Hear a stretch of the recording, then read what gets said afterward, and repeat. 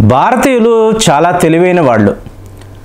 ఇలా ఇప్పుడు నేను అన్నా అనుకోండి ప్రేమ్ గారు మీరు ఉత్తి ఉత్తినే మన ఇండియన్స్ని పొగిడేస్తూ ఉంటారు మనకు అంత సీన్ లేదండి అని చెప్పి మీరు ఇమీడియట్గా రియాక్ట్ అవ్వచ్చు. సరే మనల్ని వదిలేయండి. విదేశాల్లో ఉండే భారతీయులు చాలా తెలివైన వాళ్ళు అంటే ఒప్పుకుంటారా? ఇప్పుడు చూడండి రిషి సునాగ్. సో ఇవాళ మొత్తము ప్రపంచమంతా కూడా ఇతని గురించే మాట్లాడుకుంటుంది. ఎందుకు యునైటెడ్ కింగ్డమ్కి ఇతను ఎక్కడైనా ప్రధానమంత్రి అయిపోతాడా? అంటే అంత ప్రాస్పెక్టివ్ క్యాండిడేట్గా ఉన్నాడు కదా అని చెప్పి మాట్లాడుకోవచ్చు. అది కాదండి తెలివితేటలు నేను చెప్పేది అదే భారతీయులు చాలా తెలివైన వాళ్ళు అని అనడానికి ఒక క్లాసిక్ ఎగ్జాంపుల్ రిషి సునాగ్. ఇవాళ ఈ కన్జర్వేటివ్ పార్టీని అంటున్నాం చూసారా? మూడు వందల యాభై ఎనిమిది సీట్స్ ఉన్నాయి హౌస్ ఆఫ్ కామన్స్లో మీకు అదే లేబర్ పార్టీకి రెండు వందల సీట్స్ మాత్రమే. సో ఇప్పుడు ఈ పోటీ అనేది కన్జర్వేటివ్ పార్టీలోనే ఇందులో రిషి సునాగ్ ఆల్మోస్ట్ మీకు ఫార్ హెడ్ అని చెప్పాలి. ఎనభై ఎనిమిది ఓట్స్ ఉన్నాయి ఇతనికి. తర్వాత మీరు చూసారనుకోండి పెన్నీ మార్డంట్. ఈవిడకి అరవై ఏడు ఓట్స్ ఉంటే మీకు లిజ్ ట్రూస్. సో ఈవిడ చాలా గట్టి పోటీ ఇస్తుందని చెప్పి ఎదురు చూస్తున్నారు. ఈవిడకి యాభై ఓట్లు ఉన్నాయి. ఇవాళ ఇష్యూ అంతా ఏమిటి అంటే ఋషి సునాక్ అంటే బీబీసీ అనండి సిఎన్ఎన్ అనండి న్యూయార్క్ టైమ్స్ ఇలా ప్రపంచ స్థాయిలో పెద్ద పెద్ద మీడియా సంస్థలంతా కూడా రిషి సునాగ్ యొక్క తెలివితేటలు అపారము అని చెప్పి మాట్లాడుతున్నారు. ఏమిటి అంటే చూడండి గ్లోబల్ టైమ్స్ అని చెప్పి ఒక పత్రిక వీళ్ళు ఎప్పుడు కూడా అడ్డదిడ్డమైన స్టోరీస్ రాస్తూ ఉంటారు అబద్ధాలు రాస్తూ ఉంటారు. మీకు ఈ చైనా ప్రభుత్వం ఏం చెప్తే దాన్ని రాయడం అనేది వీళ్ళ డ్యూటీ. చూడండి ఒకప్పుడు ఎమర్జెన్సీ టైమ్స్ ఉండేవి ఇండియాలో.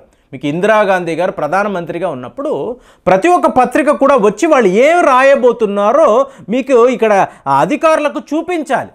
వీళ్ళు చెప్పినట్టంటే? ఇందిరాగాంధీ గారు వాళ్ళ అబ్బాయి సంజయ్ గాంధీ గారు వీళ్ళు చెప్పినట్టే. అది అబద్ధమా నిజమా అనవసరం. వీళ్ళు ఏం చెప్తే దాన్నే పత్రికల్లో రాయాలి. ఒకవేళ రాయకపోతే తీసుకువెళ్ళి జైల్లో పెట్టేస్తారు. ఏంటి? ఇది డెమోక్రటిక్ కంట్రీని ఆ రోజుల్లో మనం మాట్లాడుకునేవాళ్ళం. అదే పరిస్థితి ఇవాళ చైనాలో కూడా ఉంది. కాబట్టి ఇప్పుడు ఈ గ్లోబల్ టైమ్స్లో వీడు ఏం చేశాడు అంటే ఋషి సినాగ్ ఒక గొప్ప వ్యక్తి అద్భుతమైన వ్యక్తి. సో ఇతను మీకు యునైటెడ్ కింగ్డమ్కి ప్రధానమంత్రి అయితే ఆ దేశ ప్రజలు చేసుకున్న ఒక వరము అది వాళ్ళ అదృష్టము అంటూ ఓ విపరీతంగా ఇతన్ని పొగుడుతూ వీళ్ళు ఎన్నో ఆర్టికల్స్ రాశారు. రాసేటప్పటికి ఇప్పుడు ఏమవుతుందంటే చైనా వాడు అంటే చైనా వాడు మంచి పనే కదండి చేశాడు. మన ఋషి సునాకి సపోర్ట్గా కదా వాడు ఇన్ని ఆర్టికల్స్ రాశాడని చెప్పి మీరు ఆలోచించారు అంటే చాలా పెద్ద పొరపాటు. ఇక్కడే రిషి సునాక్ చాలా తెలివైన వాడని మాట్లాడుతున్నా. మీకు ఈరోజు ట్రెండ్ ఏంటో చెప్పమంటారా? ఏ దేశము గురించైనా ఏ వ్యక్తి గురించైనా మీకు చైనా వాడు పొగిడేడు అని అంటే వాడి మీద ప్రతి వాళ్ళ దృష్టి ఉంటుంది. అంటే దృష్టి ఉండడం కాదు చైనా వాడు పొగుడుతున్నా అంటే వీడు తేడా వ్యక్తి అని చెప్పి ప్రపంచం వెంటనే అర్థం చేసేసుకుంటారు. కాబట్టి వీళ్ళు ఓ రిషి సునాక్ రిషి సునాక్ ఒక భారతీయుడు. ఇప్పుడు ఈ భారతీయుడు యునైటెడ్ కింగ్డమ్ ప్రధానమంత్రి అయ్యాడు అనుకోండి ఇది చైనా వాడు ఖచ్చితంగా ఒప్పుకోడు. ఎందుకంటే మనల్ని వాడు ఒక ప్రైమరీ ఎనిమీగా చూస్తున్నాడు. అలాంటిది ఒక భారతీయుడు యునైటెడ్ కింగ్డమ్కి ప్రధానమంత్రి అవ్వడం ఏంటి? కాబట్టి వీడిని పొగుడుదాము. ఎంతలా పొగుడుదాము అంటే జనాలందరూ భయపడిపోవాలి. బాబు చైనా వాడే పొగుడుతున్నాడంటే ఖచ్చితంగా వీడికి మనం ఓట్లు వెయ్యకూడదని చెప్పి కన్జర్వేటివ్ పార్టీలో ఉన్న వాళ్ళే భావించాలి. ఇది చైనా వాడి స్ట్రాటజీ. సో ఇలా వీడు రాసుకుంటూ పోయాడు. వెంటనే మీకు చూసారనుకోండి ఋషి సునాగ్ అనేవాడు blue eyed boy favourite to China వెంటనే వీడిని ఏదో ఒక విధంగా మనం పక్కన పెట్టాలి అని చెప్పి యునైటెడ్ కింగ్డమ్లో జనాలు మాట్లాడుకోవడం మొదలుపెట్టినట్టుగా రిషి సునాకి ఇన్ఫర్మేషన్ వచ్చింది. అంటే ఇతని యొక్క కోర్ టీంలో చాలామంది భారతీయులు ఉన్నారండి. ఇండియా నుంచి ఇతనికి విపరీతమైన ఇన్పుట్స్ వెళ్తున్నారు అంటే ఎలా దీన్ని గెలవాలి? అసలు యునైటెడ్ కింగ్డమ్లో మూడు ఎలా ఉంది? కన్జర్వేటివ్ పార్టీలో ఇతనికి సపోర్ట్గా ఎవరెవరు ఉన్నారు? ఈ విషయాలంతా కూడా క్షుణ్ణంగా అతను పరిశీలించినా కూడా ఇతని యొక్క ఈ సపోర్ట్ టీం ఉంటారు చూసారా? మీకు ఆ థింక్ ట్యాంక్ అంటాం చూసారా? వాళ్ళు చాలా పెద్ద లెవెల్లో చాలా ఎఫిషియెంట్గా పనిచేస్తున్నారు. సో ఇప్పుడు ఇమీడియట్గా మీరు చూసారనుకోండి రిషి చునాగ్ యొక్క ఆ రెస్పాన్స్ ఆ రెస్పాన్స్ చూసి బీబీసీ లాంటి వాడు బిత్తరపోయాడు. మీకు వరస పెట్టి ట్విట్లు అండి మీరు నిన్నటి నుంచి గమనిస్తున్నారో లేదో వరస పెట్టి ట్విట్లు. ఏంటి అంటే ఈ ప్రపంచం యొక్క ప్రాథమిక శత్రువు ఎవరు అంటే చైనా. చైనా అనబడే దేశము యునైటెడ్ కింగ్డమ్కి చాలా పెద్ద ఎనిమి వీళ్ళు భారతదేశం మీద టార్గెట్ చేశారు.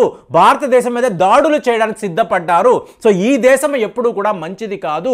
ఒకవేళ నేను యునైటెడ్ కింగ్డమ్ ప్రధానమంత్రి అయితే నేను చేసే ఫస్ట్ పని ఏమిటంటే యునైటెడ్ కింగ్డమ్లో ఉండే ఈ కన్ఫ్యూషియస్ ఇన్స్టిట్యూట్స్ దగ్గర దగ్గర ముప్పై ఉన్నాయి.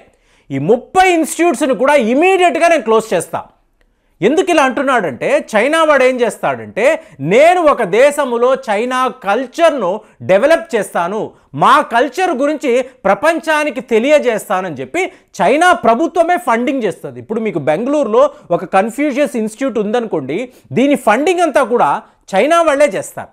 ఎందుకు వాళ్ళు ఇలా పెట్టుబడులు పెడతారు అంటే చైనా భాష మీరు నేర్చుకుంటున్నప్పుడు ఈ ప్రపంచంలో the oldest the ancient culture చైనానే. China భాష అన్నిటికన్నా చాలా చాలా పురాతనమైనది చాలా అద్భుతమైన ఒక భాష.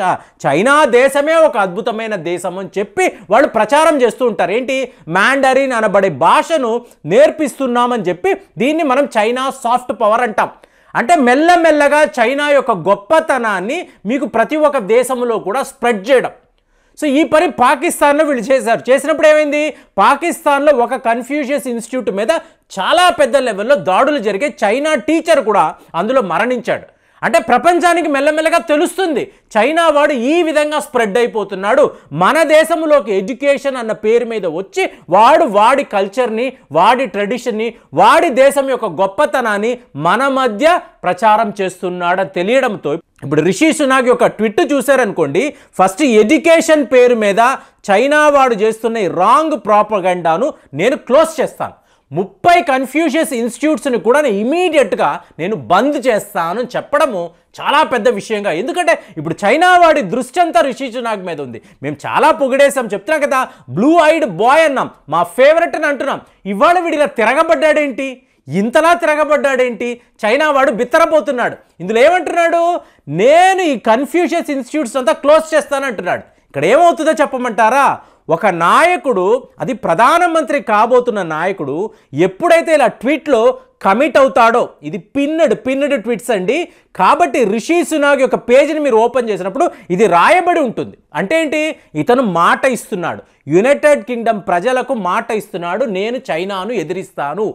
చైనా యొక్క ఆగడాలను నేను ఆపుతాను. వాళ్ళు చేసిన రాంగ్ ప్రాపగెండాను నేను ఏదో ఒక విధంగా ఆపే తీరుతాను అని అన్నప్పుడు మీకు అక్కడ రాయబడి ఉంది. ఇతను చేసే తీరాలి.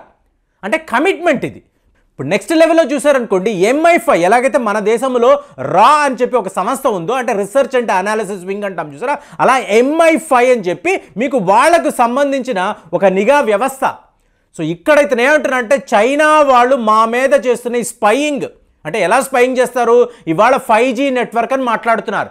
ఫైవ్ జీ నెట్వర్క్ ద్వారా మీకు యునైటెడ్ కింగ్డమ్లో జరుగుతున్న ప్రతి ఒక్క పనిని కూడా చైనా వాళ్ళు వాళ్ళ దేశం నుంచి గమనిస్తారు అని చెప్పి ఒక రిపోర్ట్ వచ్చింది. ఇమీడియట్ ఇమీడియట్గా ఈ ఫైవ్ జీ నెట్వర్క్ ఈ ఫైవ్ జీకి సంబంధించిన ఈ టెక్నాలజీని మొత్తము మీకు యునైటెడ్ కింగ్డమ్ ఆపేసింది. సో ఈ విధంగా నేను దీన్ని ఎగ్జిక్యూట్ చేస్తానంటే ఎంఐ ఫైవ్ ద్వారా మీకు చైనా యొక్క స్పైయింగ్ స్పయింగ్ అనబడే వ్యవహారాన్ని ఆపేస్తాను అని చెప్పి రెండవది. ఇక మూడవది చూసారనుకోండి ఇంటర్నేషనల్ ఎలియన్స్ అని ఒకటి క్రియేట్ చేస్తాను. ఎవరు? ఫ్రీ నేషన్స్ ఇండియా అనండి ఆస్ట్రేలియా అనండి యూఏ అనండి వీళ్ళందరినీ కూడా కలుపుతూ ఒక ఇంటర్నేషనల్ ఎలియన్స్ అనే దాన్ని క్రియేట్ చేస్తాను. వీళ్ళందరూ కలిసికట్టుగా చైనాను ఎదిరిస్తారు. సో ఇది నా మూడవ వాగ్దానం అని చెప్పి వరస పెట్టి ఇలా ట్విట్లు పంపిస్తూ ఉంటే చైనా వాళ్ళు బిత్తరపోతున్నారు. బాబాయ్ మన మీద వీడికి ఫేవరబుల్గా రాసి వీడిని ఎలాగోలా ఓడిద్దాం అనుకుంటే వీడు ఎంత తెలివైన వాడంటే పూర్తిగా మనల్ని మనల్ని టార్గెట్ చేసి ఇవన్నీ రాస్తున్నాడంటే రేపు ఖచ్చితంగా ఈ పని చేస్తాడు. అంటే ఏంటి?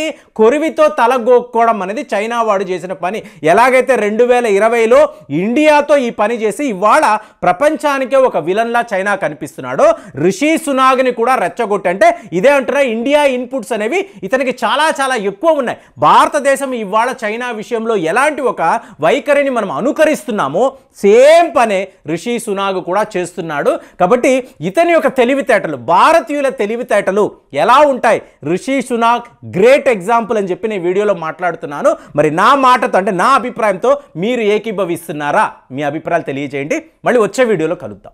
జై హింద్.